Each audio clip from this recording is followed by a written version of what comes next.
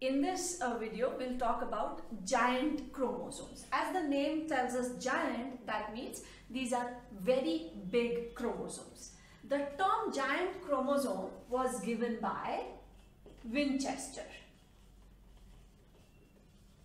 And there are two main giant chromosomes about which we would be discussing. One is salivary gland chromosomes they are also known as polytene chromosomes and we'll see why they are known as polytene chromosomes. They were discovered by Balbiani and the term polytene was given by Kohler. Now in these chromosomes or before that let us talk about where were these discovered. As the name tells us salivary gland that means they are discovered in salivary gland of some organism. So they were discovered in salivary glands Drosophila. And the reason why they are known as polytene chromosome is that here the chromosomes replicate but they do not get separated. So chromosome replicate but do not get separated. What does this mean and why would it result into the giant chromosome structure?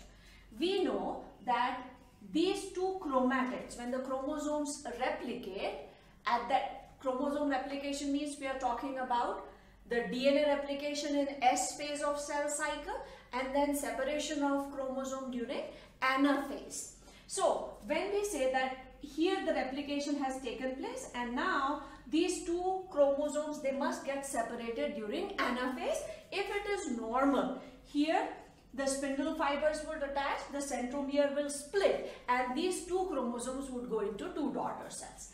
The separation doesn't take place. That means replication has taken place but the chromatids are attached to the same centromere Further, if one more time it takes place, then again there is replication, again the separation doesn't take place. So, there are multiple arms seen in this chromosome and that is why it is known as polytene chromosome.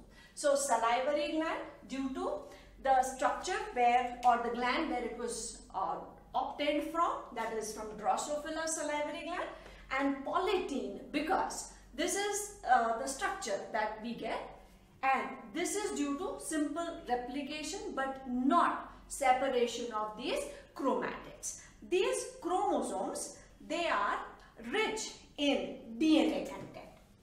So they are rich in DNA content.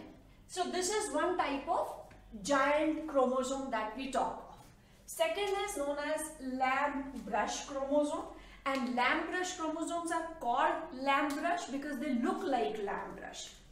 If you have seen the lamps, the glass lamps, kerosene lamps with the glass uh, cover maybe, and there is a special type of brush which we use to clean them.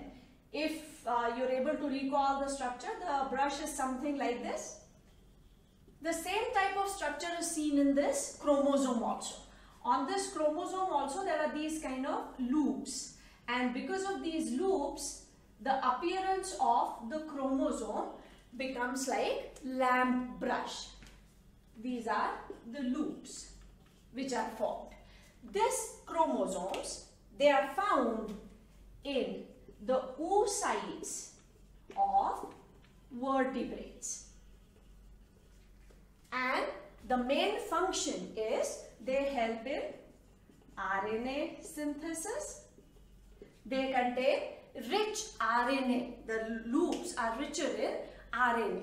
So structure wise they look very very big and so are called giant chromosomes named after the place where they are isolated from and the structure.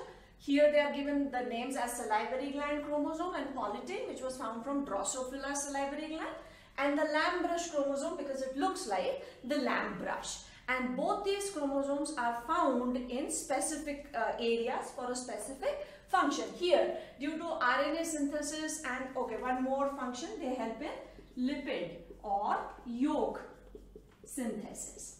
and that is why this oocyte which contains the reserve food material as yolk, these chromosomes are found. So with this, we have completed our first chapter of the unit of genetics. And this was the principles uh, of inheritance.